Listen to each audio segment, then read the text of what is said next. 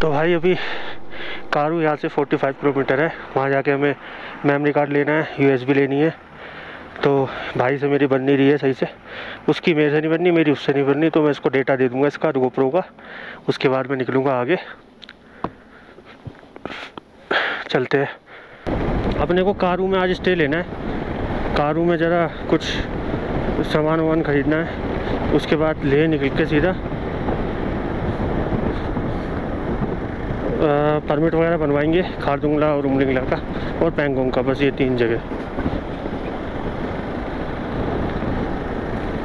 तो नदी के साथ साथ चल रहे हैं वैसे मस्त।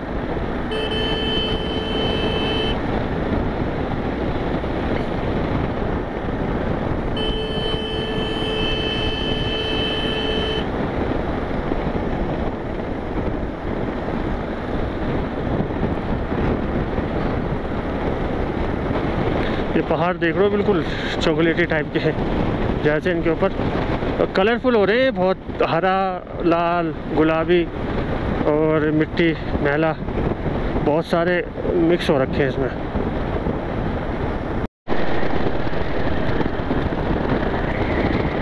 पहाड़ों में खो गया। मस्त है भैया मौसम। ऊपर ठंड थी तो रेन लाइनर पहन लिए थे, नीचे इतनी ठंड नहीं है। ठीक है।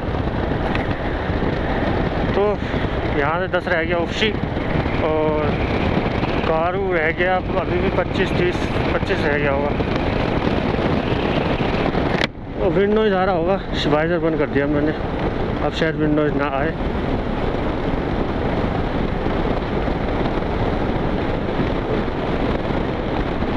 Look at this landslide area जैसे ऊपर से सीमेंट का पानी गिरा हुआ है, ऊपर से पत्थर गिरे हुए ऐसे रुक गए हो यहाँ पे। शिकाय ब्यूटीफुल ब्रिज और ये ब्यूटीफुल नदी। मस्त जगह है भाई।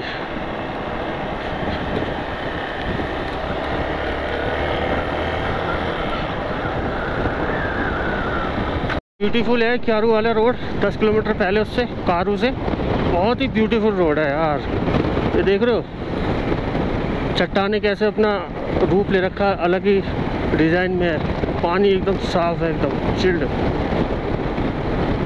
ले यहाँ से अप्रोक्स 45 किलोमीटर है बस। तो आज का स्टेशन शायद कारू में हो, क्योंकि कारू में थोड़ा काम निपटाने। और उसके बाद सोच रहे हैं आज कैंपिंग कर लूँ आज। कैंपिंग फ़र्स्ट डे ही करी थी मैंने। उसके बाद तो होम स्टे ही ले रहा हूँ। तो देखते हैं कैंपिंग का क्या सीन बनता है। मिलिट्री कैंप है। Welcome to military station Karu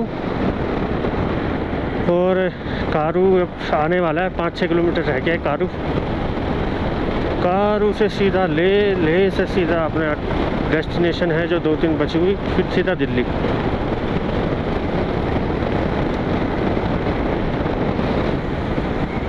road भाई, पांग के बाद तो इतने बढ़िया रोड बने हुए मैं क्या बताऊँ? पांग के बाद बहुत अच्छे रोड लेह तक।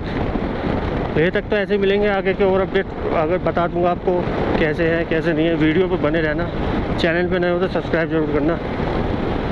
और बस, पहुँचने वाले हैं। कार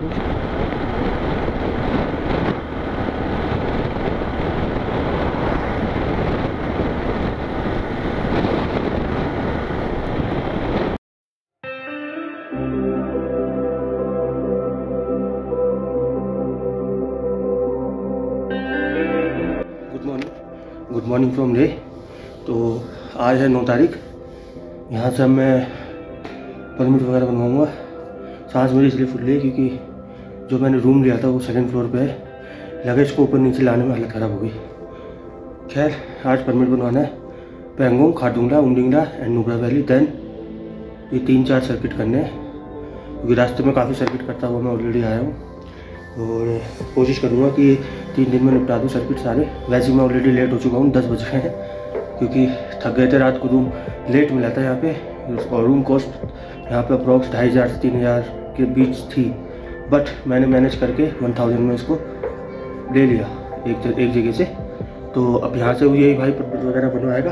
परमिट वगैरह बनवाते हैं और बाइक बाइक बाइक को लोड करते हैं। सामान ये ना बाकी मैं नीचे पहुँचा चुका हूँ एक बड़ा बैग छोटे मोटे बैग हैं, इनको हाथ में कैरी करके ले जाके मिलते हैं आपको मोटो ब्लॉक के थ्रू तो हम ले परमिशन बनवा लिए, बहुत लेट हो गया हूँ, साढ़े ग्यारह बज रहे और यहाँ से अब निकलना है मेरे को किधर? नूबरा वैली बीच में खारदुंगला पेंगोंग पड़ेंगे, पर देखते हैं। अप्रोक्स यहाँ से 160 किलोमीटर है। कितनी देर में पहुँचते हैं? अभी चाय नाश्ता कुछ भी नहीं करा है। पेट्रोल डलवा लिया है मैंने। तो निकलते। Let's go let's go to the Nubra valley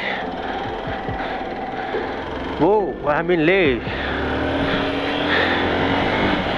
तो मार्केट से होते हुए निकलेंगे नूबरा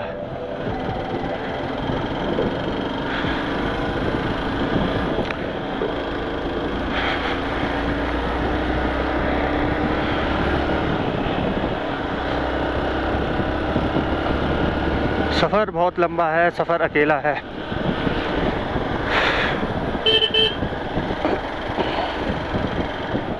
यहाँ पूछना पड़ेगा मेरे को। नूबरा वैली के लिए नूबरा नूबरा।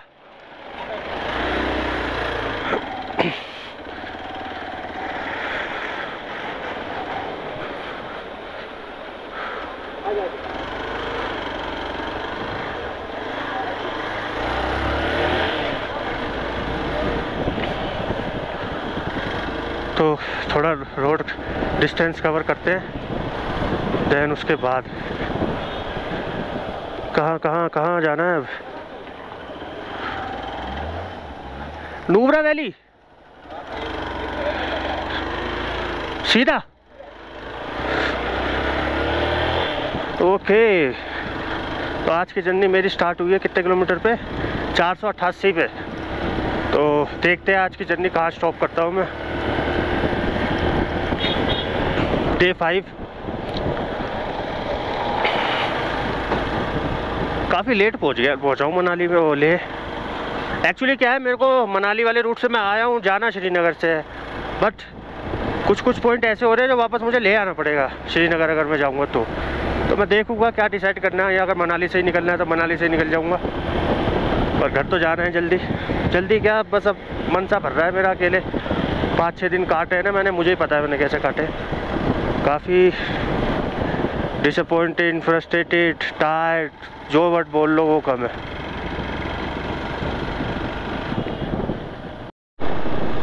नूबरा वैली की तरफ़ निकलते हुए और ये सारी लेह सिटी है।